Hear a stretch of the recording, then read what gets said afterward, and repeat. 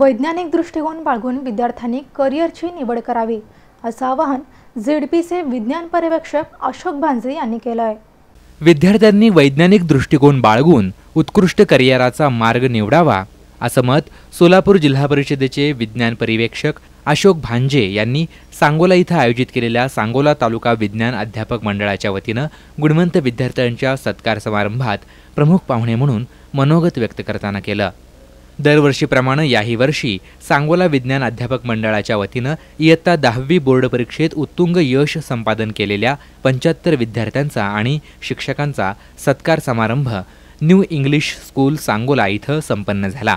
यावेळी व्यासपीठावर शेतकरी शिक्षण प्रसारक मंडळाचे सचिव विठ्ठलराव शिंदे महाराष्ट्र राज्य किसान मंडळाचे उपाध्यक्ष Laxmiprasad Mohite Kadam madam new English स्कूलचे प्राचार्य गोसावी सर तालुकाध्यक्ष सोमनाथ सपाटे नीलकंठ लिंगे भारत इंगवले सुवर्णा इंगवले घोडके मॅडम कोळवले मॅडम आदी मान्यवर उपस्थित होते.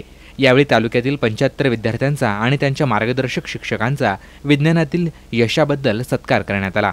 विज्ञान विषयाच्या संकल्पना समजून घ्यावयाच्या असतील तर विद्यार्थ्यांनी शोधक वृत्तीनं संशोधनाची सवय लावली पाहिजे असं मत कार्यक्रमाचे अध्यक्ष विठ्ठलराव शिंदे यांनी व्यक्त केलं. यावेळी नीलकंठ लिंगे यांनी विज्ञान मंडळ राबवत असलेले विविध उपक्रम सांगितले. या कार्यक्रमाचं प्रास्ताविक सोमनाथ सापाटे यांनी केलं तर सूत्रसंचालन सुनील लिगाडे यांनी केलं.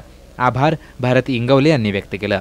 या कार्यक्रमास बहुसंख्य विद्यार्थी पालक मार्गदर्शक शिक्षक उपस्थित होते. हा कार्यक्रम यशस्वीपणे पार पाडण्यासाठी विज्ञान अध्यापक मंडळाच्या सर्व पदाधिकाऱ्यांनी आणि मंथन बुक डेपोचे मालक समाधान केदार यांनी प्रयत्न केले.